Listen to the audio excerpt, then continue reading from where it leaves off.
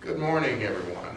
Uh, welcome to the Sunday morning message of the Rosehill Missionary Baptist Church, uh, located at 7550 Martin Luther King Way South in Seattle, Washington, 98118, uh, where our wonderful pastor is the Reverend Dr. Shelby O. Tate Sr.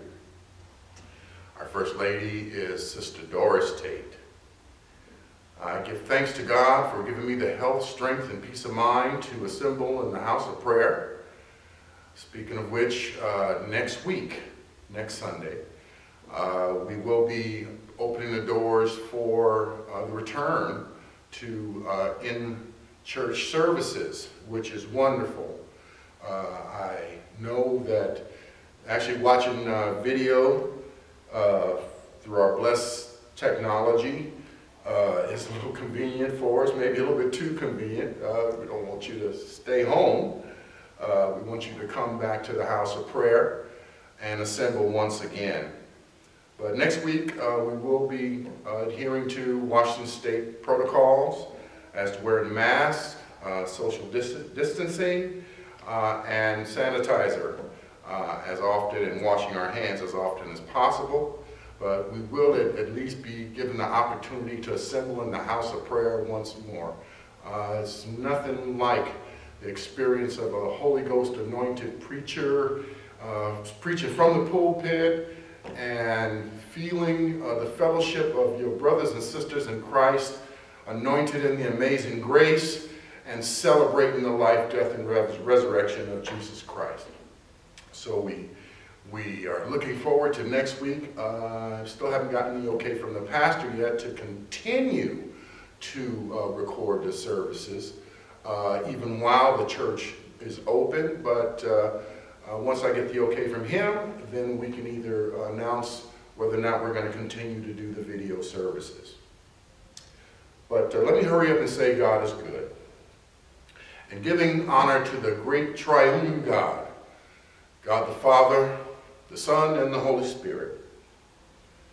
Give thanks and praise for, to him for his grace and mercy, for allowing us one more day, one more day to get stronger, one more day to get better, one more day to get right with him and his word.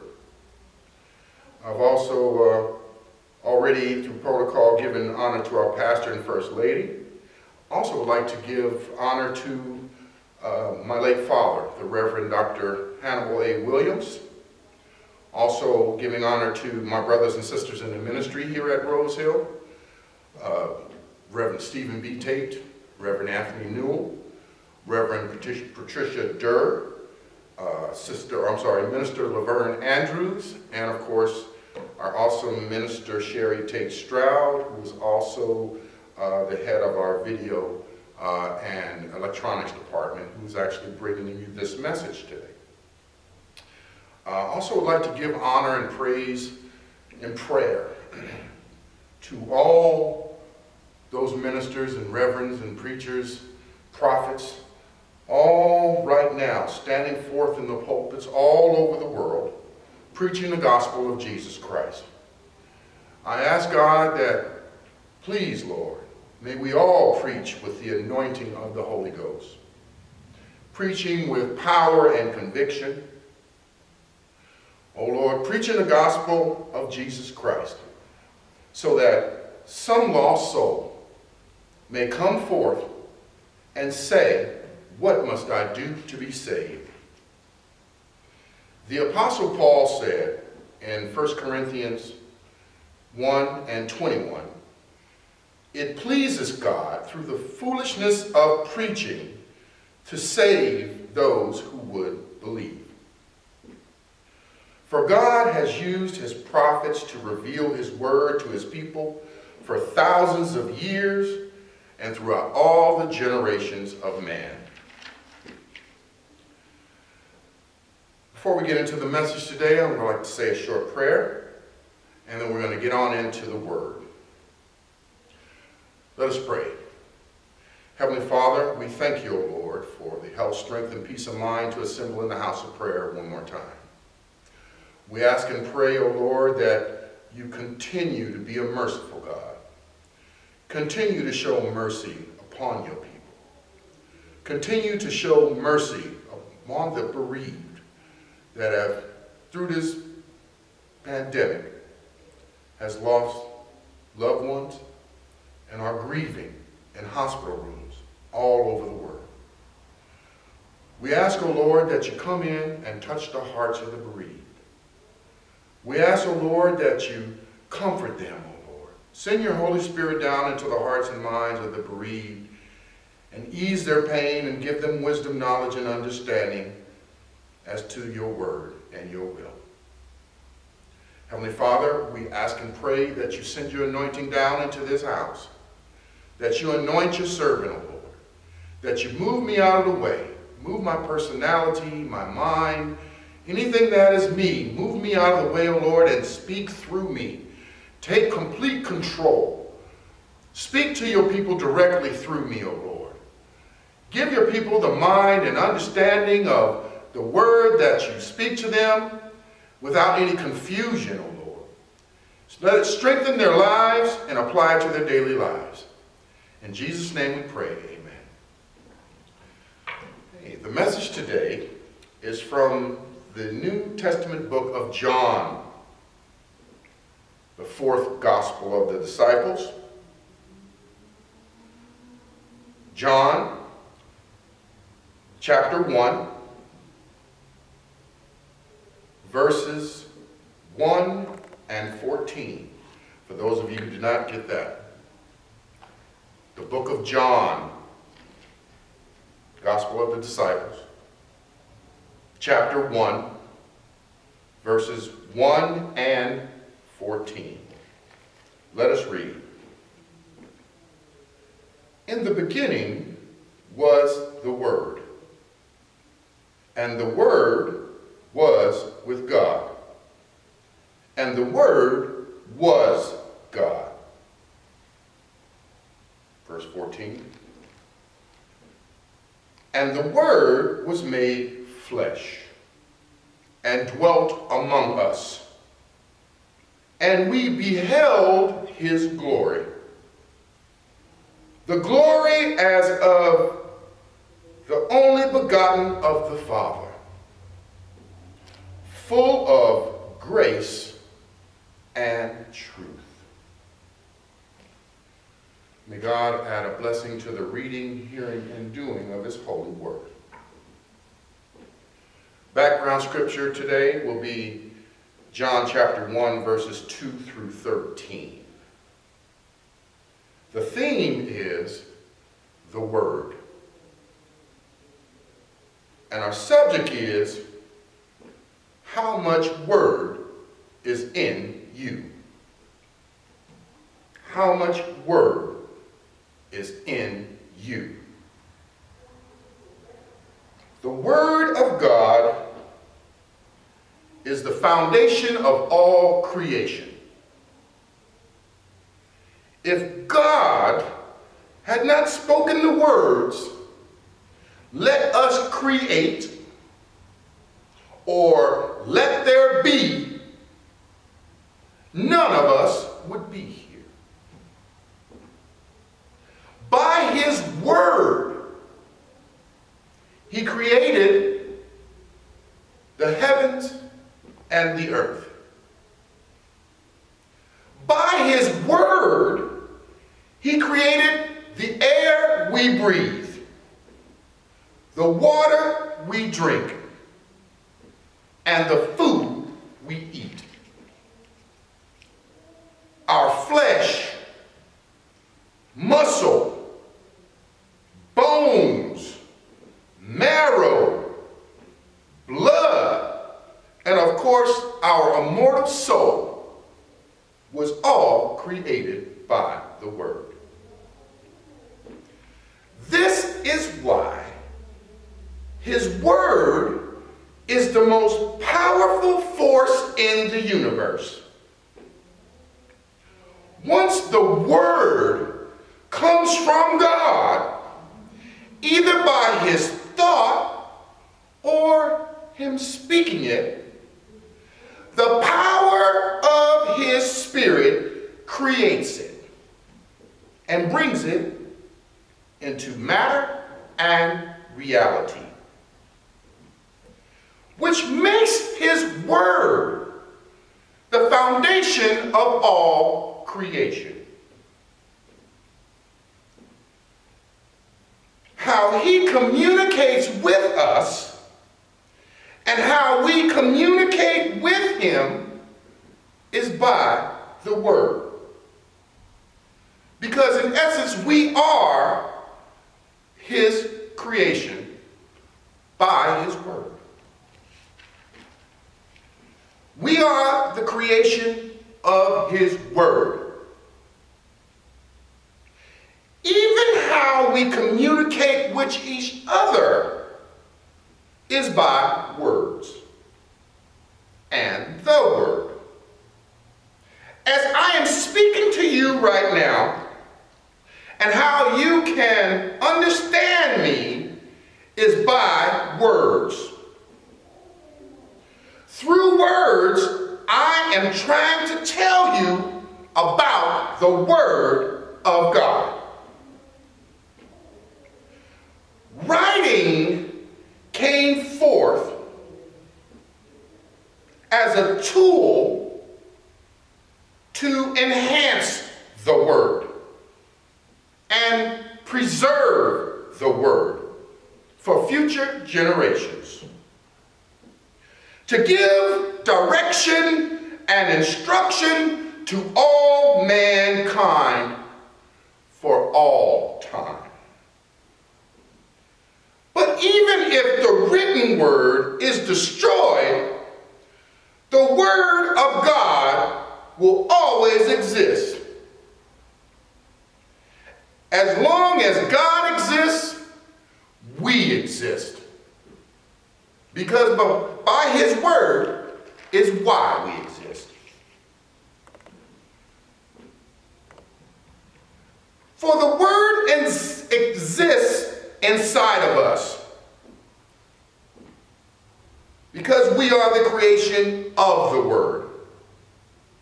That's why we all have the ability to hear the word and to speak the word and remember the word to write the word. The written word enables us to go back thousands of years in human history. And not one house does not have books of some kind. Paperback, hardcover, brochure, or even a modern day computer version. There is even a bestseller list where the most popular books are listed, but it's always wrong. And don't let it fool you. The number one bestseller always has and always will be the Word of God.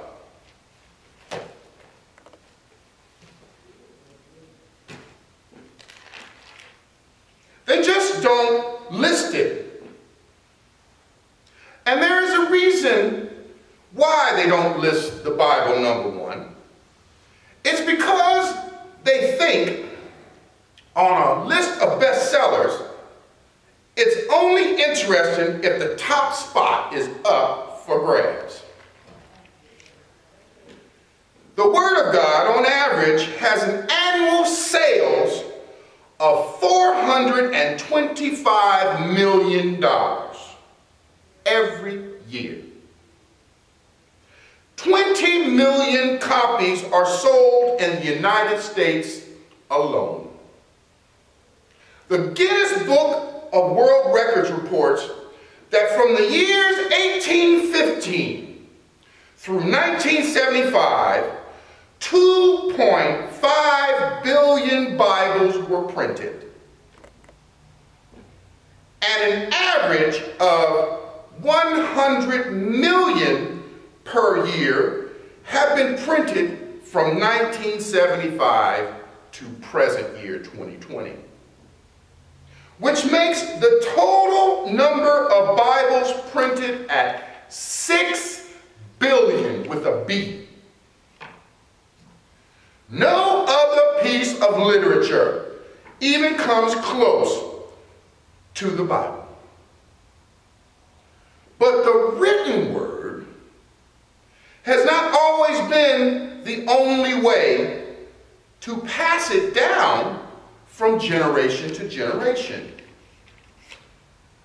The spoken word passed it down and has given us our history as well.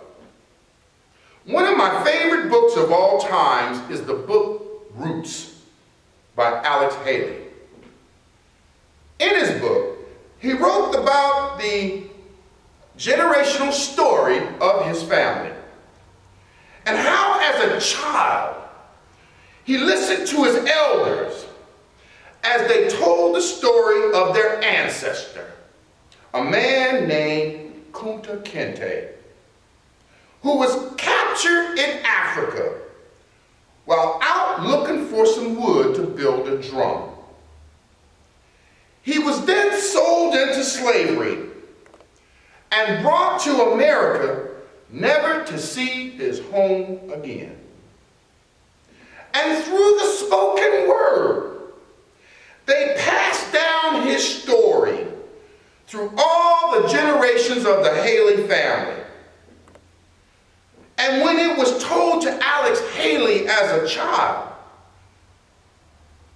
he searched back through the history of his family, way back to Africa, where he found an elder of the tribe of Kunta Kinte.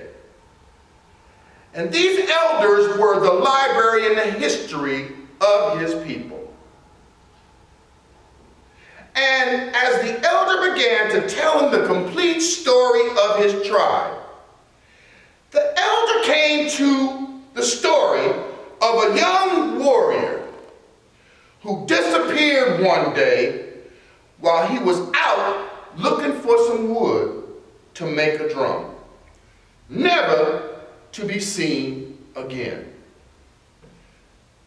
This elder made the connection from Africa to Alex Haley's family.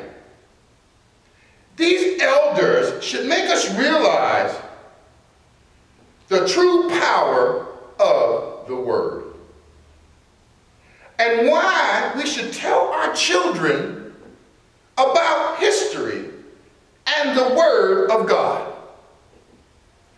Listening Remembering, believing the Word of God is the foundation of a blessed life. I'm going to say that again. Listening, remembering, and believing the Word of God is the foundation of a blessed life. Both here on earth and the key to the gates of heaven and everlasting life for our souls and the souls of our family and loved ones depends on the amount of the Word of God you know, study, remember, and obey. The answer to the questions is, is there a God? And to what must I do to be saved? Is in the Word of God. The Word tells you to answer to what must I do to be saved? You must hear the Word of God, believe the Word of God, confess with your mouth the Word of God, and repent to the Word of God, and be baptized. According to the Word of God, we must accept Christ Jesus as our personal Savior and claim the sacrifice of His life on your or our behalf for your or our sin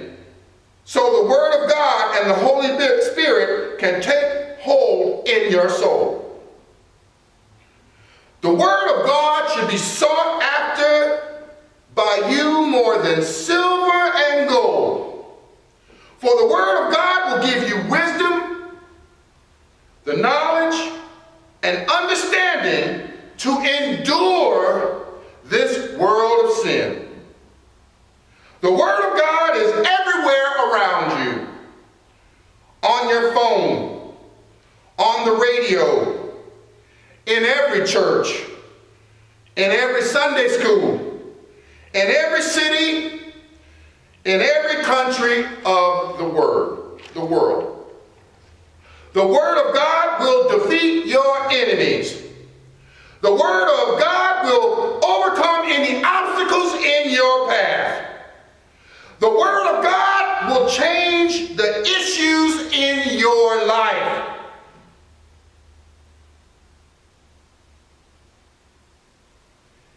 I came here today to tell you God wants you, God wants you to seek the Word. The mighty Word of God.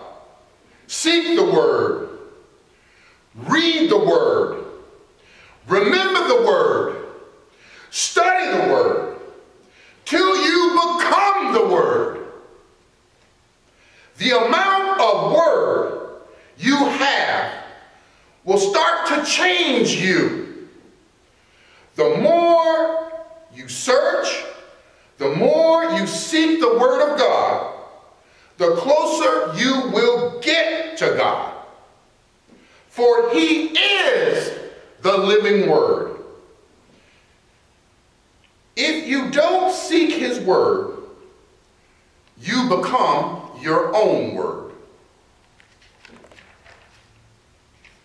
And your word is who you are. Would you think about that for a second? Just like his word is who he is. Whatever words you say, whatever words you think, whatever words you tell others, you have to realize that what your words and what your actions or deeds say about you will tell you how far away you are from God.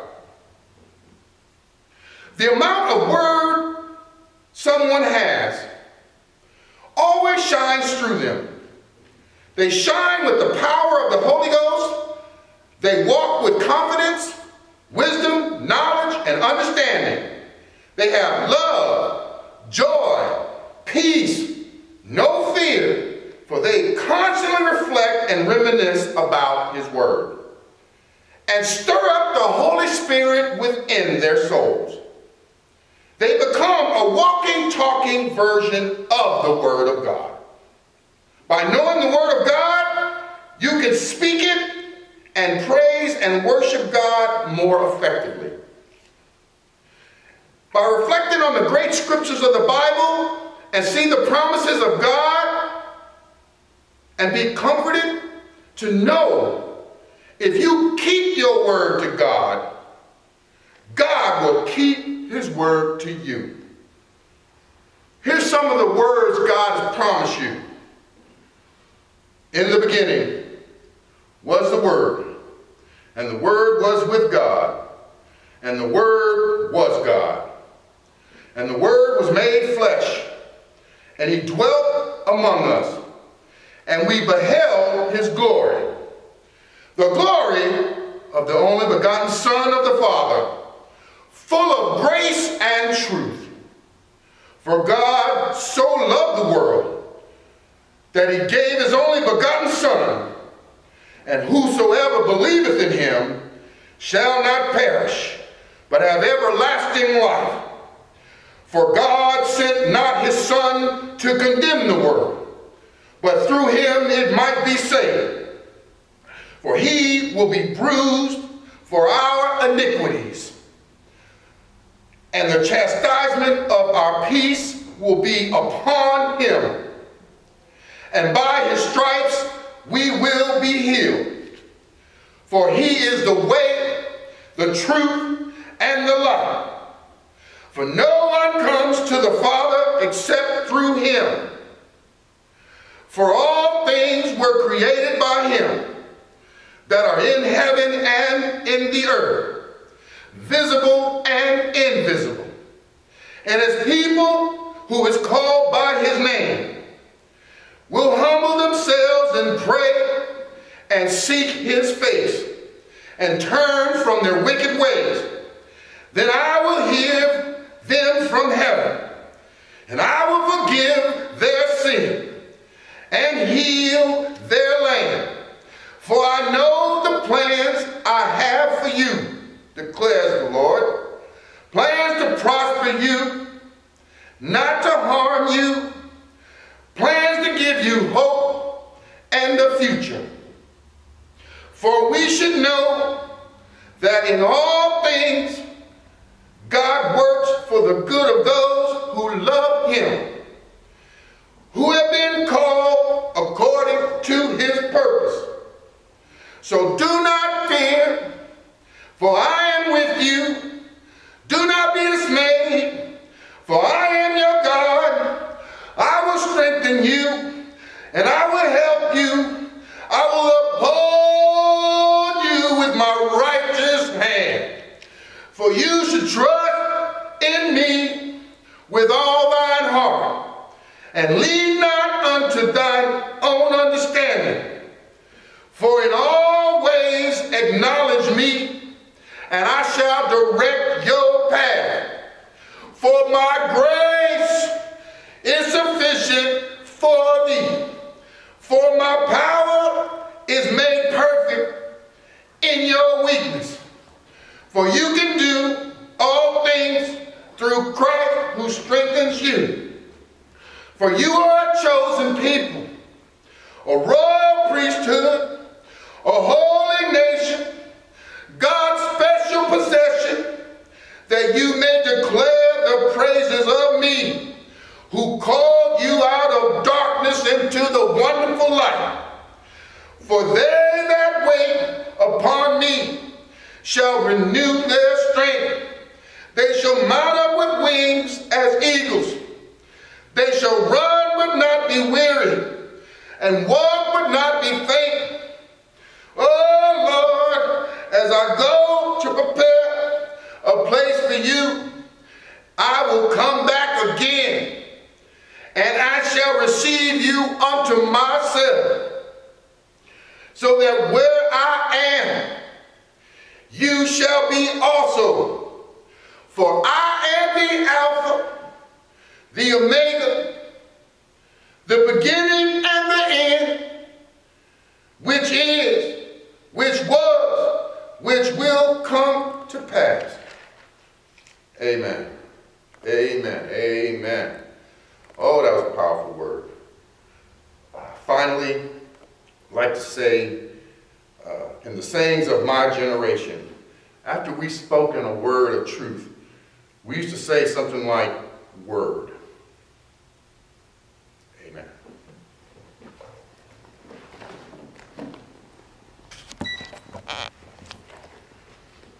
All righty.